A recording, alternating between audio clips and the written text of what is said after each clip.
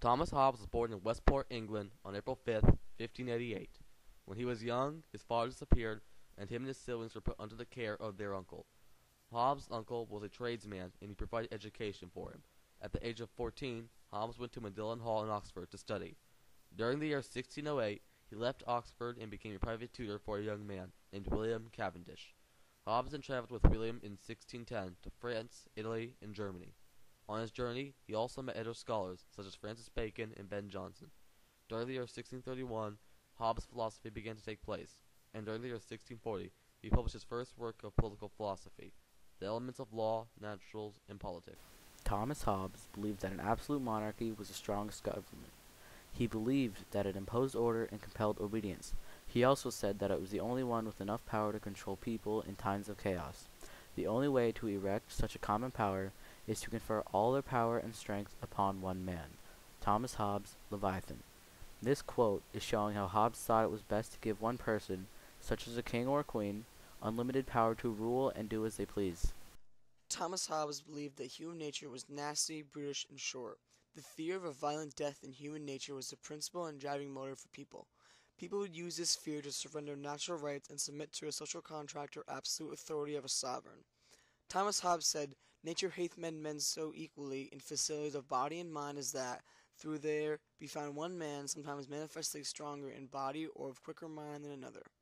The sovereign, or ruler, would be someone who was stronger in mind and body. The power of that sovereign came from the people, and the divine power of the sovereign was unquestionable. The laws are of no power to protect the people without a sword in the hands of a man or men to cause these laws to be put in execution. Thomas Hobbes, Leviathan. This quote is saying that laws are useless unless they can be enforced. Hobbes thought basic laws should be in place, such as no murder or stealing or other criminal acts, such as those.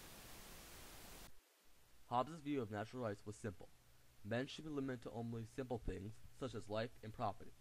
During the year 1642-1651, Thomas Hobbes wrote the Leviathan, and stated, By liberty is understood, according to the proper signification of the word, the absence of external impediments, which impediments may oft take away part of a man's power to do what he would, but cannot hinder him from using power left him according as his judgment and reason shall dictate him. Hobbes decided that a social contract was needed for men to evolve. A social contract is when a person enters a society, but in return also gives up their physical freedom. Hobbes believed that everyone should become part of the social contract except sovereign authority, which is basically rulers or lawmakers. Hobbes believed that those under the social contract should obey those people of sovereign authority.